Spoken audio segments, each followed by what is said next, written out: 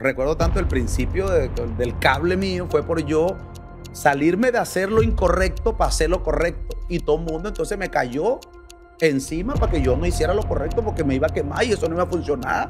Y te acabaste, de y estás quemado y está ahí. Ellos en ese momento difícil para mí, todos me dieron la espalda. O sea, a mí me partió el alma.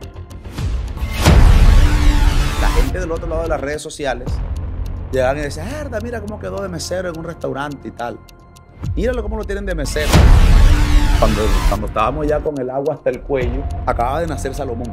Ya estábamos con 5 millones, de, era nuestro capital de todo. O sea, no teníamos ni era lo último. Ni para comprarle pañales, ni para comprar una cuna, ni para comprar nada. Y mi lado dice, acá, marica, grábame los clásicos, marica, que la gente necesitamos tocar, necesitamos que la gente eh, eh, eh, entiendan que tú eres un intérprete. Ella que sabía cuál era la situación personal que yo estaba viviendo en ese momento, ella me dijo, algo me dice que no te tengo que dejar solo, algo me dice que, ah, que te, te equivocaste, que te las embarraste conmigo, que perdiste mi confianza y que va a ser muy difícil que la vuelvas a recuperar, pero que no te puedo dejar solo. En ese momento cambió mi vida. Yo siempre he sido muy resiliente, Ali. Y yo de los problemas que ya yo no le llamo problemas, sino situaciones especiales. Yo de, los, de las situaciones especiales, yo encuentro oportunidades. El que no esté dispuesto a evolucionar está condenado al olvido y al fracaso.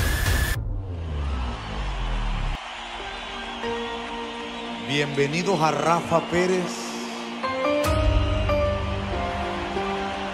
mi mejor versión. Quiero que lo cante Colombia conmigo. ¿Quién dijo miedo? Si yo camino con el rey del universo, yo soy el hijo del que todo lo hace nuevo.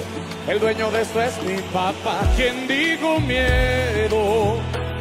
Si para los que creen en él todo es posible. Él me levanta cuando todo está perdido, cuando no hay fuerzas para más. Ahí aparece mi papá. Quiero ver a todo el mundo con la mano arriba. Ahí aparece mi papá.